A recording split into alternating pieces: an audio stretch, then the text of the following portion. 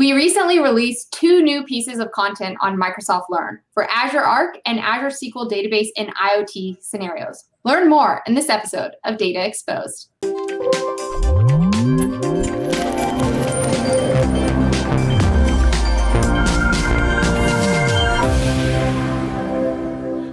I'm Anna Hoffman, and welcome to this episode of Data Exposed. Today, we're going to be talking about some new Microsoft Learn content, and I've brought on some SQL veterans to talk with us about that. And today, I have Buck Woody and Bob Ward, both great colleagues from my team working on uh, enabling you on various technologies related to Azure SQL and SQL Server. Now, we've been on this journey for a while, and Buck, you know, can you kind of tell us how it all started with Azure SQL Workshops or SQL Workshops in general?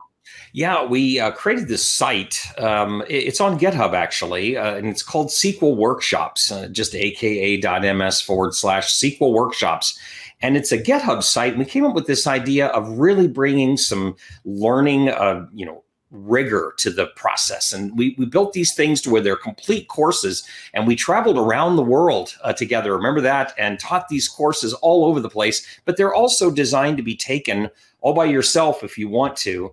Uh, and so we've got lots of incredible content in here. In here. We've recorded things. Bob's jumped in.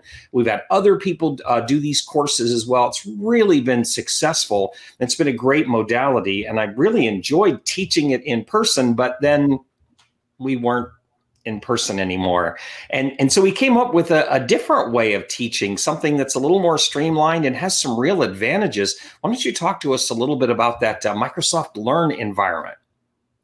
Yeah, definitely. Thanks, Thanks, Buck. And yeah, SQL Workshop has been a great resource for us, and it's still a great resource for us and a great tool for the community. If you want to do open source presenting, uh, like we like to do, we share all our resources there. But then we started investing in a space called Microsoft Learn. And, you know, apart from the scale that it gets, one of the biggest things that we feel like Microsoft Learn brought to the table was this idea of having a free Azure sandbox. Like, that's a great thing that you can have so you can get hands on no issues, no hoops to jump through. You could just get hands on for free, and then everything gets teared down when you're done. Um, so you don't have to worry about the bill if you leave things on or forget to clean up properly. Uh, but we wanted to spend today and talk a little bit about some of those uh, learning paths and modules that we have. Uh, this first one that you see on the screen is called is related to a learning path called Build Serverless Full Stack Applications in Azure, and this is really meant for new developers or new people to Azure SQL so they can get hands on. And you actually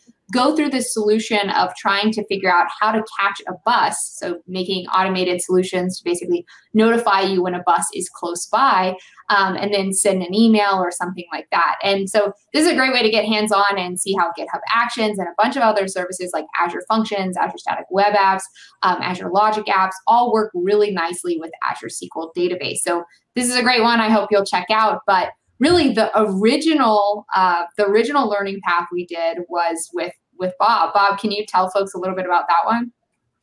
Yeah, thanks. You know, if you think about our journey, uh, let's see, a little over a year ago, we were working on Azure SQL workshops from SQL Workshops.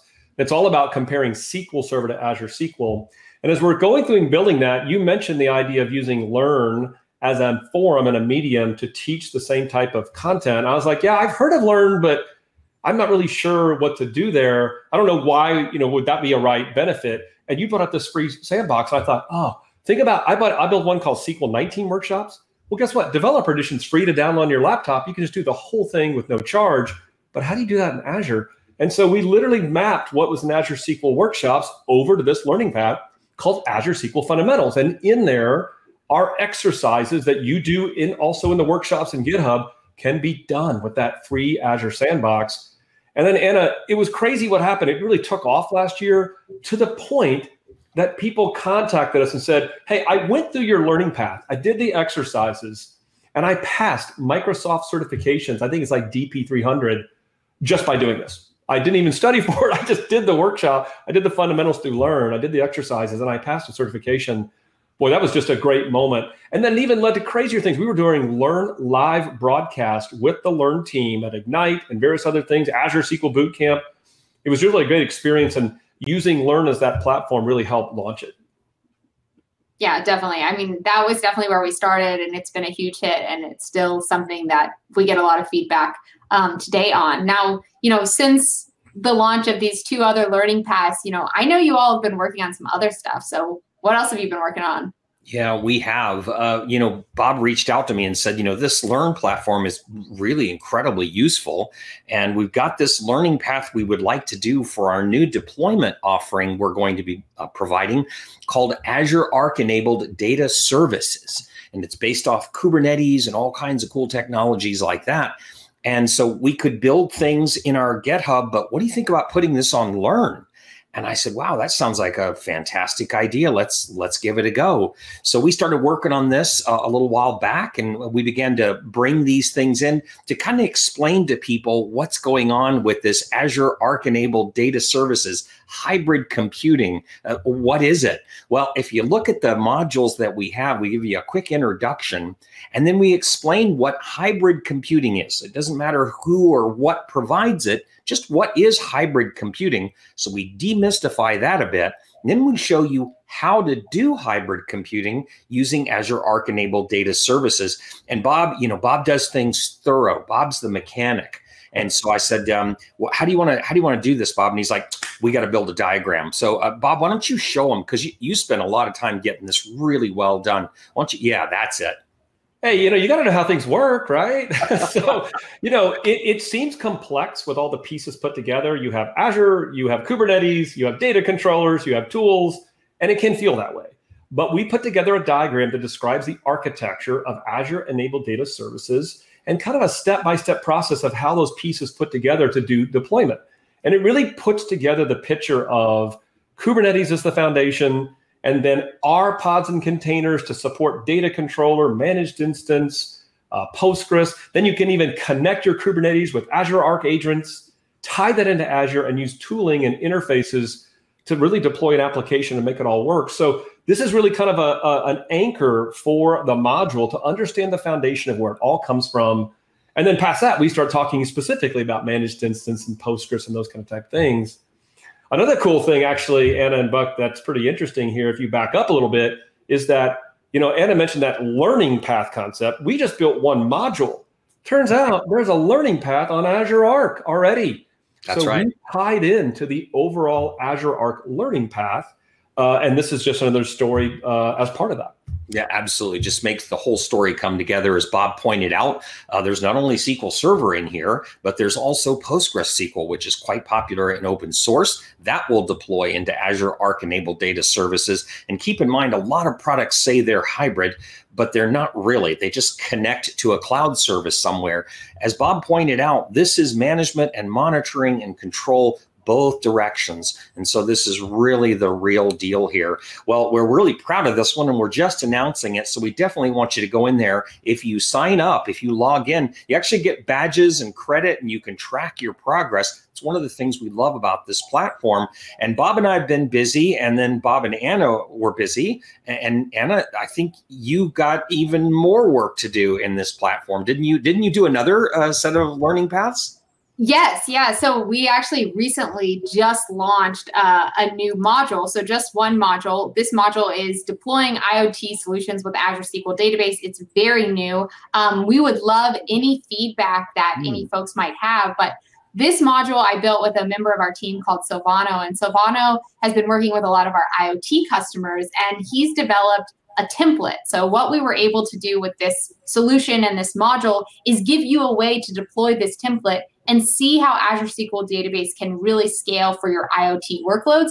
But then, even more so, after you've seen how it works and you've seen how the simulation works, you now are equipped with this template to use with any of your IoT scenarios. So, you know, you now have the recipe for IoT solutions. But I think all in all, like together, we've been doing, you know, a lot of work in the space of, uh, you know, Azure and SQL and Azure Arc and all these different things. And it's been really great to get them on Microsoft Learn. And we hope you'll all go check out all these different resources and give us feedback and use them for learning or for, for deploying stuff and getting started.